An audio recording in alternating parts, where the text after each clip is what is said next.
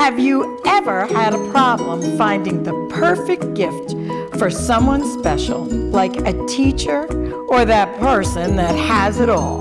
Well, RMIrishJewels.com has the solution.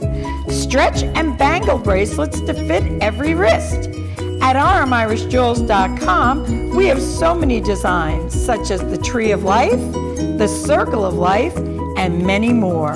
When this someone special opens the gift, they'll ask, Where did you get that jewelry? And you can say, At RMIrishJewels.com.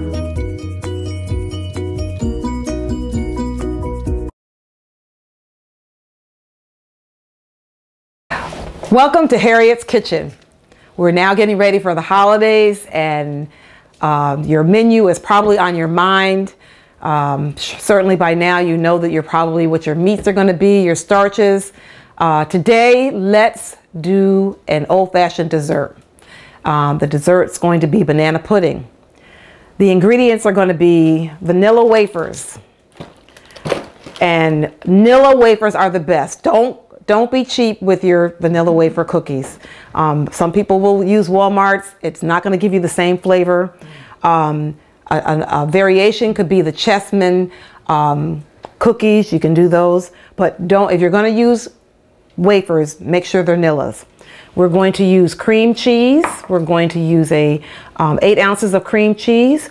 We're going to use four ounces of sweetened condensed milk, um, a cup of sugar, um, about a teaspoon of uh, pure vanilla.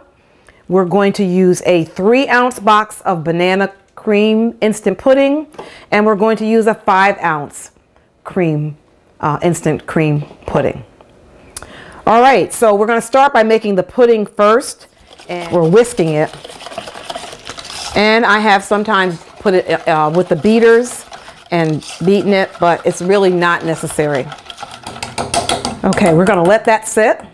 The next thing we're gonna do is we are going to mix up the cream cheese and the condensed pudding. So we're gonna start on a low beater.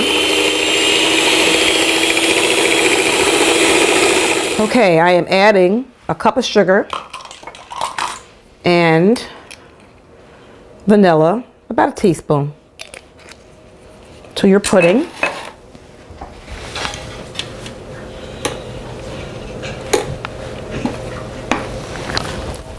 And I'm just going to whip that in there, stir that in there. And now we're going to add our mixture of cream cheese and condensed milk.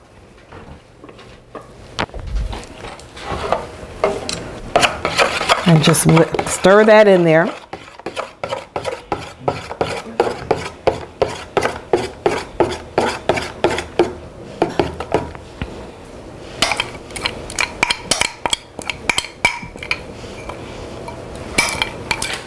And I have already started a pan that has vanilla wafers and two bananas. And if you are a banana fan, and you really like a lot of bananas, um, you know, go on and add three bananas uh, if you rather than uh, two. And this is going to be, and it's we're layering this. This first a layer of cookies, then your bananas, and then we're going to pour on the pudding. You want to get this in the crevices, and you're just using half of this.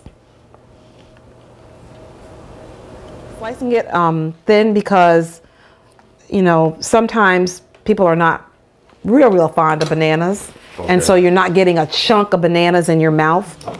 Um, I'm that's just saying, if you don't like bananas, how you eat banana pudding? Well, because it's a pudding. It's really the pudding that people like. And the last thing that we put on the um, banana pudding are about six or eight cookies crushed up. And we have one that we just made this morning that's been sitting in the refrigerator.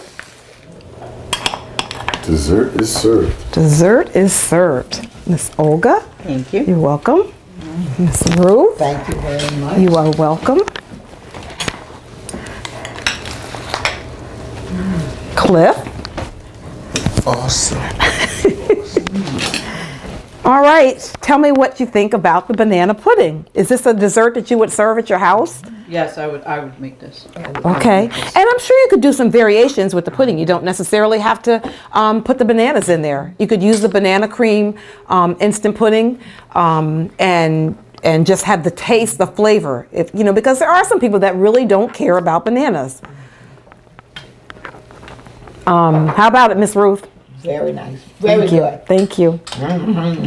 And this will be one of my dishes for New Year's. Okay. That's two dishes I got from Miss Harry. Absolutely. I'm excited about that. I will make sure that I write those recipes up for you and get them to you. Thank you very much. You are welcome. Cliff?